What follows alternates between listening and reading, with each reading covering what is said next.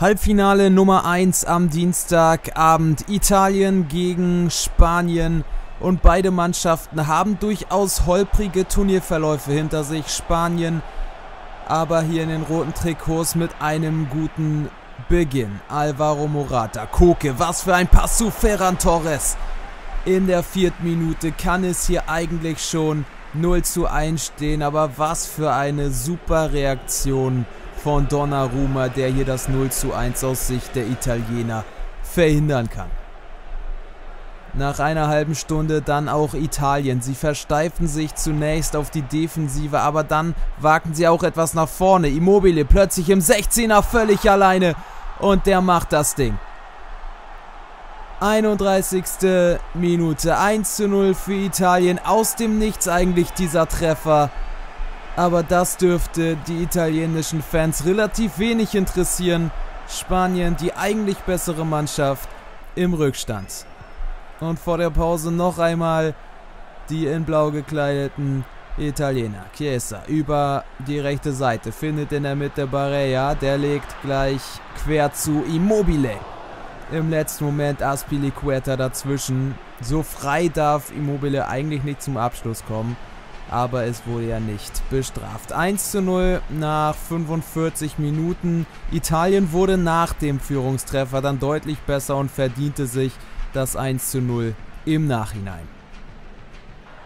Der zweite Durchgang dann mit breiter Brust weiterhin geführt von Italien. Sie ritten auf dieser Welle. Spanien baute ganz schön ab.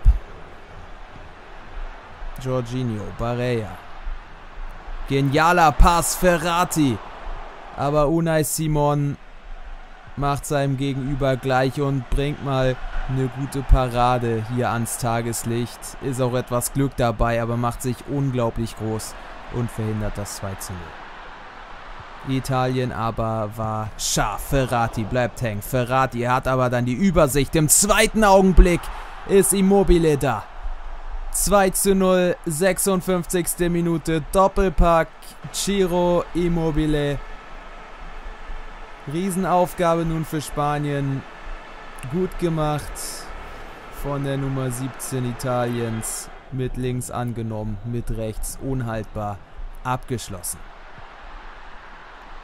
Und wieder Immobile mit dem Pass zu Insigne. 3-0 und Feierabend. 62. Minute.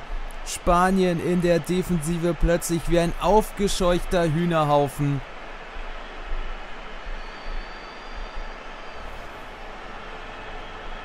Und gegen ein solch effizientes Italien ist das am Ende dann einfach zu wenig in der Abwehrarbeit.